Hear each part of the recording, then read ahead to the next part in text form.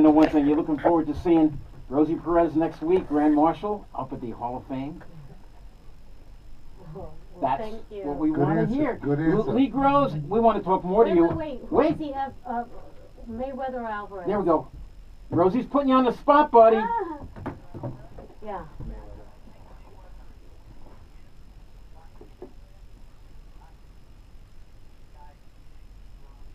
Okay, now I want to ask you, I, I wanna that fight is and I also happening. wanna- Rosie and I are going back and forth here. Cotto Alvarez, a, a dream match here. What happens there? Yeah, Rosie. Okay, let, me, let, me, let me ask you a question, Lee. Uh, here's, here's a great question.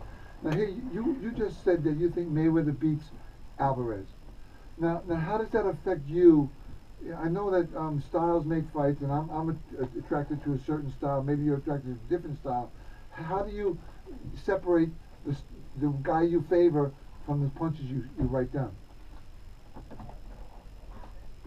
I mean, in the score. I mean, you, you, you say, okay. He uh, counts Mayweather- them. He Mayweather counts them as he sees 130. them. And you, I mean, you know what I'm saying? You see more for Mayweather and then Alvarez in that fight?